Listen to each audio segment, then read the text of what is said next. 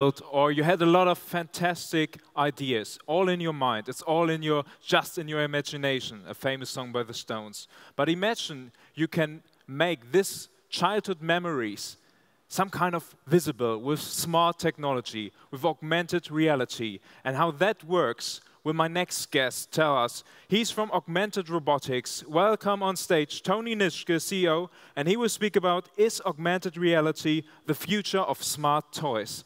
So many great, fantastic words. Tony, enlighten us.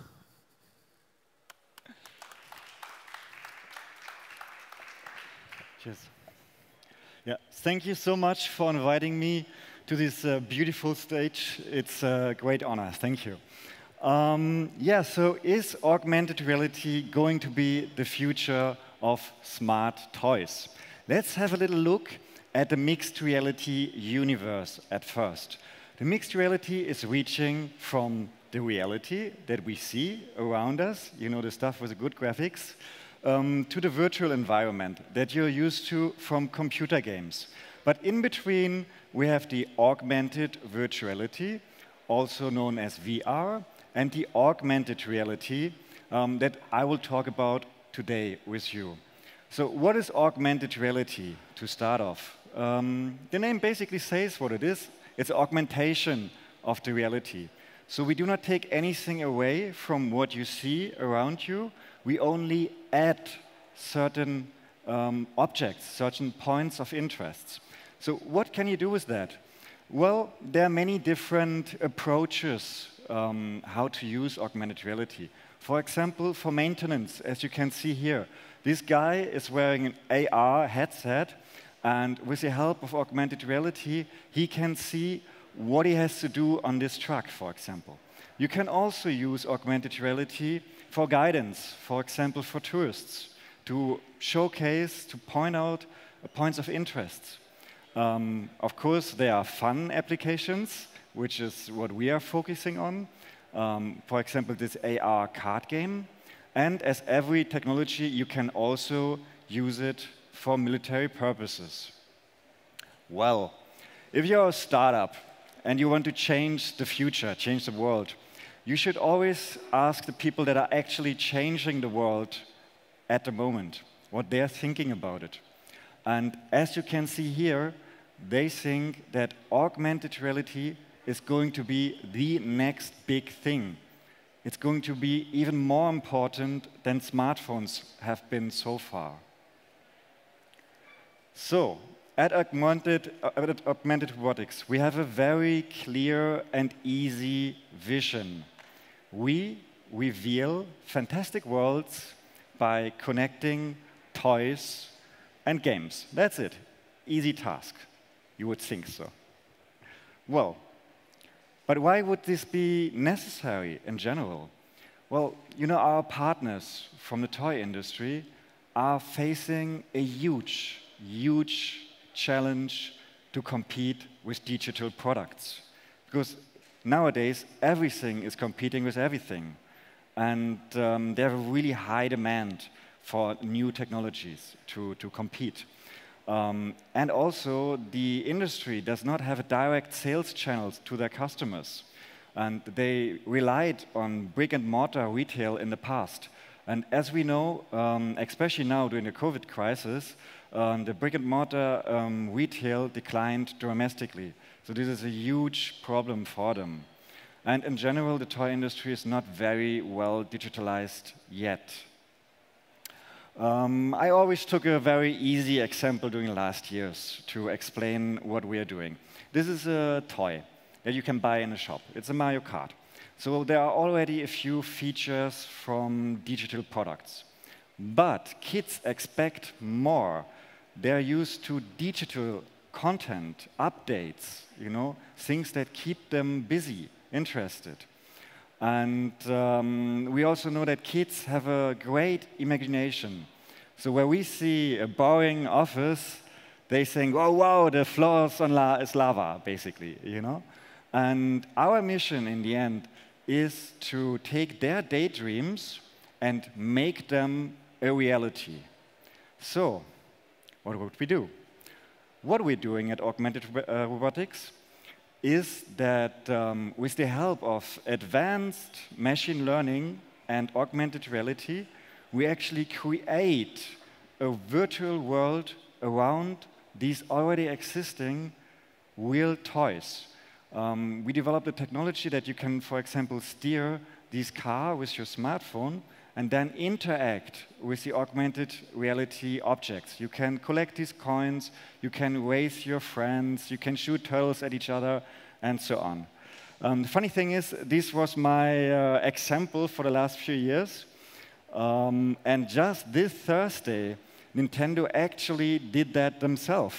Um, they um, promoted the first AR Mario Kart, which is such a great market proof for us. It's amazing, and it looks really, really great. So why should other toy manufacturers do the same? Well, it's pretty easy, actually. The toy market is stagnating since years. And there's a huge opportunity in the AR market because it's growing exponentially at the moment. But there was a time for digitalization in which we all were very busy digitalizing our products and our companies, of course all except the toy manufacturers. So, as a startup, our mission is to help the toy manufacturers to overcome this gap and to reach actually the future. Um, for that, we have a broad portfolio. We don't just digitalize um, radio-controlled um, cars, for example, um, the toy manufacturers also ask us um, about other products that they have, products that cannot move, like this teddy, or an action figure, or just a model, or any kind of toy you can imagine. And for that, we created a game collection. And depending on the toy, a fitting game is selected, and the toy is transferred into this digital world that you can see in front of you. So the kid can actually experience more with this, with this toy. And like everything he ever dreamed of in his head actually becomes reality in front of him. Um, we have many um, other products and showcases, so you're very welcome to come to our booth, uh, have a look at them, try them out, um, or call, write me later on. I will uh, send you the contacts in a, in a second. Um, so from a business point of view, what we're doing is that we connect two large markets with each other, the toy market and the mobile games market.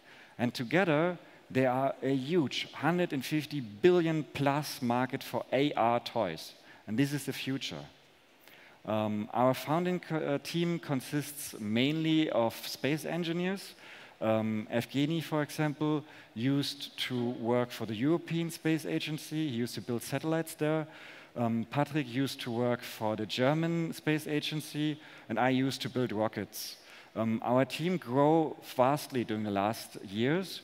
Now we have 15 headstrong team, um, still growing. We have people for the business part, product development, community management, um, machine learning, augmented reality, everything so far. Um, we also won a few competitions. The last one um, last week on Thursday, the Deep Tech Award here in Berlin um, for um, startups with the best machine learning, artificial intelligence programs, and many other um, two international and national um, competitions. But um, I can explain you a lot in words, but I think the best is if I just show you a video and um, let's go.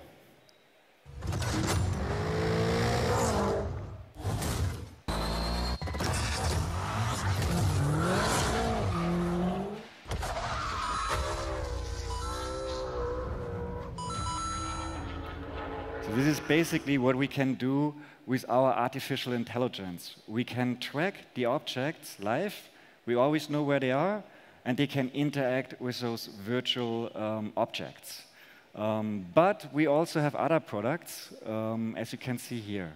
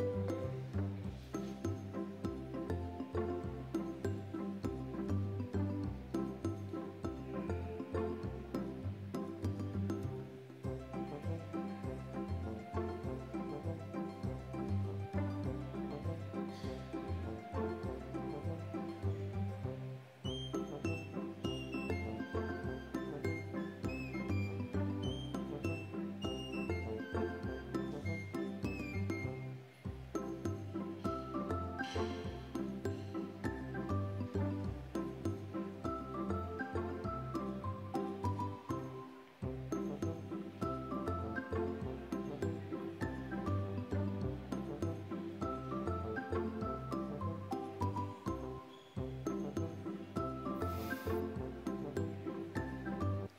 Okay, thank you so much uh, for this little preview of our company and why augmented reality will be the future of smart toys.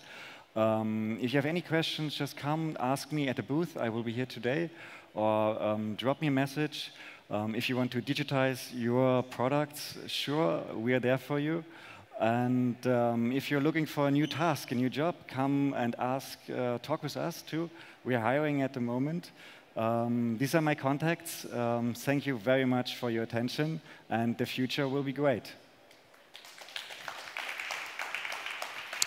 Thank you, Tony. Um, I have a question. I guess plenty of you people outside on the screens in the web, web have many questions too. Contact him. Um, you used to build rockets, right? Yeah. That, that sounds crazy. So I always thought rocket science people are these kind of guys with really visionary. Mm. In my mind, they're really visionary. So, what is your company's vision, your vision to say, yeah. this could be the next big thing in the toy industry? Yeah.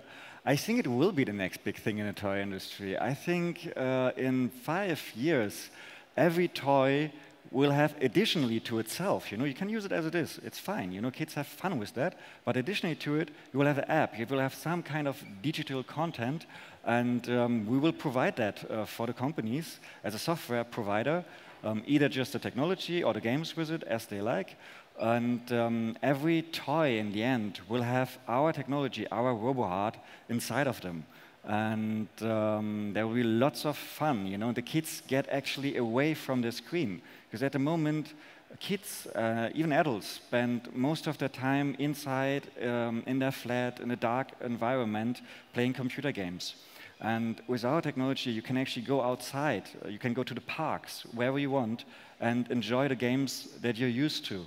You know, this is great. So you're working basically Yes, you do work for kids, mm. so it's always good to know feedback. You know, for, for young companies, feedback is like really essential. So Absolutely. how is the feedback so far? Yeah. I've seen this Mario Kart thing now for I guess two years. Yeah. So, um, but how's the feedback?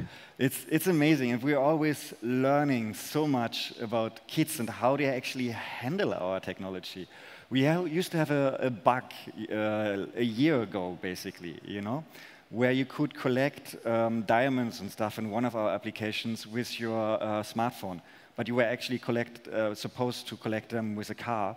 But the kids love to just run around and collect these diamonds by themselves, you know, by moving through the room.